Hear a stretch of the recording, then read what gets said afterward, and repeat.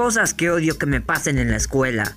Muchas veces yo estaba todo tranquilo en el recreo, comiendo papas fritas, y llegaban todos mis compañeros en plan, ¿Me das una, me das una, me das una, me das una?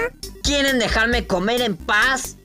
Y a ver, llegaba el primero y le compartía, llegaba el segundo y también le compartía, al tercero también, pero solo porque me daba pena. Pero luego llegan como 15 alumnos a pedirme y yo ya estaba en plan, déjenme comer en paz. Porque si no esta manada de hambrientos me iban a dejar con el paquete vacío. Y lo peor de todo es que luego se hacían los ofendidos en plan, Ay, pero es que a él le das y a mí no. ¿y acaso yo me tengo que morir de hambre solo por alimentarlos a ustedes? Aquí cada quien se come lo que tiene. ¿No trajiste nada? Pues lo siento, pero ya te fregaste.